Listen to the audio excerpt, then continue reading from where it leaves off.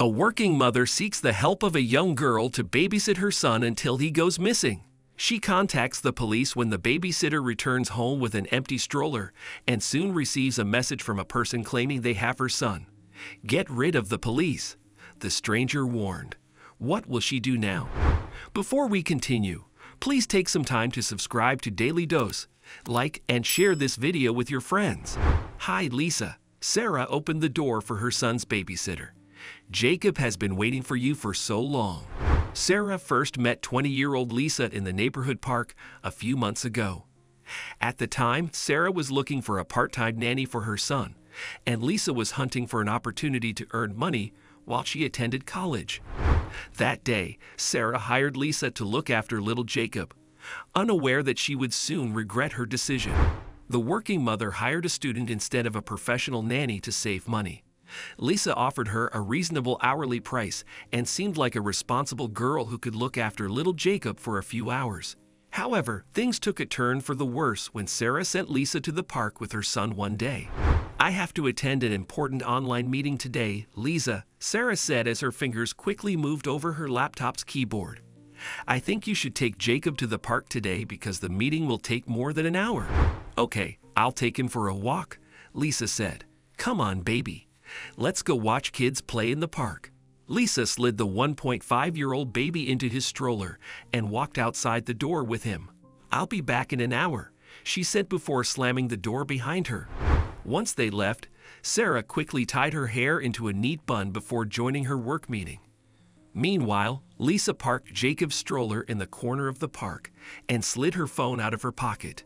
She talked to her friend on the phone while Jacob looked at the world around him. He was fascinated to see so many new things he hadn't seen before squirrels hopping on tree barks, cats walking on the grass, and children climbing on the monkey bar. An hour later, Lisa decided to return home. She turned the stroller towards the exit while talking on the phone. I'm going to end the call soon, okay, she told her friend. Back home, Sarah was done with her online meeting earlier than expected and eagerly awaited her son's return. A few minutes later, she rushed towards the door when she heard the doorbell ring. However, her heart pounded against her chest when she opened the door and saw the stroller. Everything looked fine except for one thing her son was missing. Weary's Jacob, Sarah screamed in panic. Lisa squinted her eyes while pulling out the earphones from her ears. The girl had no idea she had been pushing an empty stroller all this time. What do you mean? Lisa asked before moving forward and looking inside the stroller. Where did Jacob go, Lisa? Where is my baby? Sarah covered her mouth with her hands. He was here. I mean, he was with me. Lisa was horrified upon learning that Jacob was not in the stroller. I parked the stroller near the bench and kept an eye on him. Where could he go? That's what I'm asking you, Lisa. Sarah shouted while a wave of fear grew inside her heart. Where is my son? Lisa's mind kept recalling what happened in the park, but she couldn't remember seeing anyone come close to the stroller. Meanwhile, Sarah sat on the sofa and cried. She thought she would never get to see her son again. Okay, wait, Lisa said. Let's call the police. I'm sure they will help us find Jacob. The young girl quickly dialed 911 and soon a team of police officers arrived at Sarah's residence. Lisa told them everything that happened at the park. I have no idea how Jacob disappeared from his stroller, Lisa explained in a shaky voice. I was sitting beside him talking to my friend on my phone. After questioning Lisa and Sarah, the police asked the young babysitter to take them to the park. I'll come with you, Sarah said. I parked his stroller right here. Lisa pointed towards a corner of the park. The police officers went in different directions to search for Jacob, while Lisa and Sarah called his name, hoping he would respond. Jacob, where are you? Sarah yearned to hear his voice as she walked from one corner of the park to the other. Mommy's waiting for you, baby. Meanwhile, the cops questioned several passersby and learned that a few saw a homeless man carrying a boy in his arms. The boy didn't look like the man's baby, one of the witnesses said. When several people claimed they saw a man carrying a boy that matched Jacob's description, they decided to check the footage of the nearby CCTV cameras. Meanwhile, Sarah prayed that her baby was safe. After watching multiple CCTV footage, The police managed to track the man's trail. However, they didn't find Jacob with the homeless man when they spotted him in a stranded alley. Where's the boy?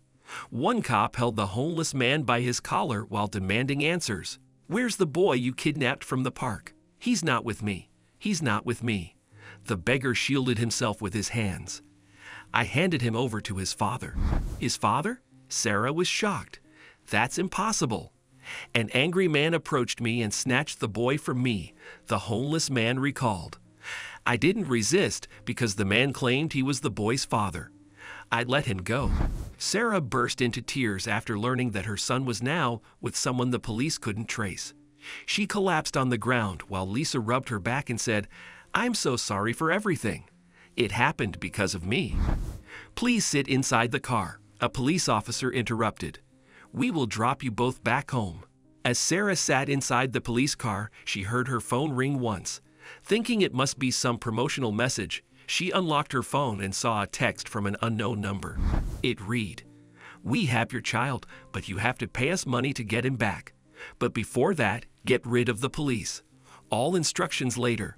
Sarah was horrified to read the message, but kept a straight face so the cops wouldn't suspect something was wrong.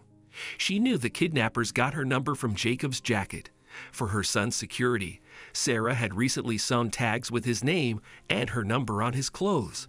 She was relieved that her trick worked, but felt terrified upon learning that Jacob was with kidnappers who could hurt him. She decided not to tell the police about the message because she feared the kidnappers might hurt her son. We will help you trace your son. Our correspondents are looking for him everywhere. One cop told Sarah, Please don't panic. We will keep you updated. The police dropped Sarah back at her residence. When she stepped out of the police car with Lisa, she wanted to shout at the girl for losing Jacob, but she thought it wouldn't help. Sarah quietly walked inside her house before she received another message from the same unknown number. It read, $100,000. That's Jacob's price. Put the money in a bag, bring it to the same park where you lost your son, and place it underneath the bench where the stroller was parked. We will drop Jacob back at your house an hour after we receive the money. Remember, you only have one day. Time is running out. Be quick. Sarah gasped upon reading the message. She had no idea how to arrange such a huge sum and didn't have enough money in her bank account. What should I do? Where should I get the money from? She wondered. Then she opened the locker in her closet and took out all her gold jewelry. This won't give me a hundred K dollars. I need to find another way, she said. It suddenly hit her that she could ask her friends for money without telling them about Jacob. She called one friend after the other and the other until she convinced all of them to lend her a few K dollars. She told them it was a family emergency and promised to return their money soon. Then Sarah took her jewelry to the pawn shop and exchanged it for a few K dollars. Within a few hours after the ransom message, the determined mother had collected enough money to get Jacob back. The money is ready. Tell me when to drop it at the park. She messaged the kidnappers. A few minutes later, she left the house after the kidnappers gave her a green signal. Holding a bag full of money, she rushed towards the park and placed the bag under the bench. She looked around but didn't see anyone nearby. Now leave. The kidnappers sent her a message a few seconds after she placed the bag under the bench. Frightened for her son's safety, Sarah quickly left the park and didn't look back. A few minutes later, a man wearing a t-shirt with ripped jeans entered the park. He kept looking left and right to ensure no one was watching him. Then he walked towards the same bench and sat on it, pretending to use his phone. Once he was sure no one was watching him, he bent forward and slid the money bag from under the bench. He quickly opened it, checked the money, and walked towards the exit. Meanwhile, Sarah was hiding beside a shop near the park, watching the man from afar. When she saw him exiting the park, she quickly rushed home, hoping the kidnappers would bring Jacob there. Upon reaching home, Sarah kept walking from one end of the house to the other, hoping the kidnappers would bring Jacob back. Her heart felt restless, worried if she made the right decision by not involving the police. What if they don't return Jacob?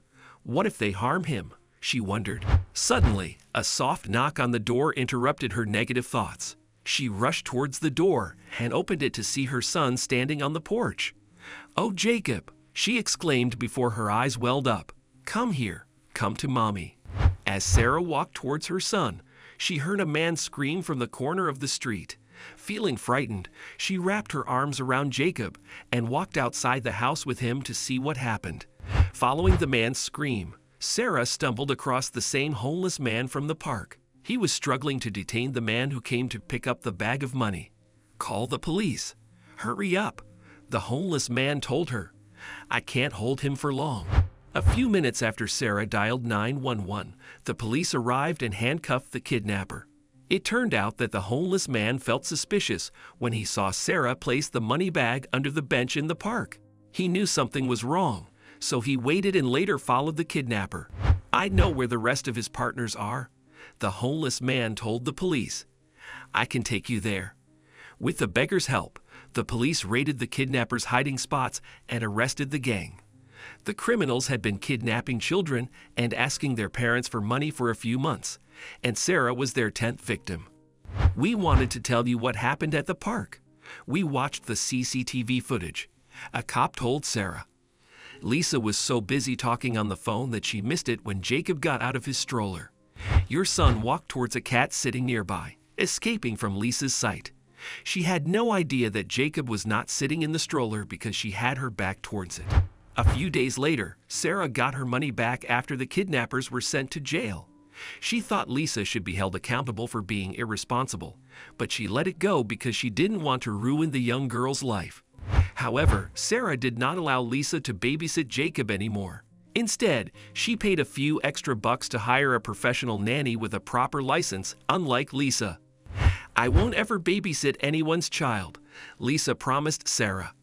I will take up other jobs to earn money, but I won't ever risk a child's life. Babysitting is not for careless people like me.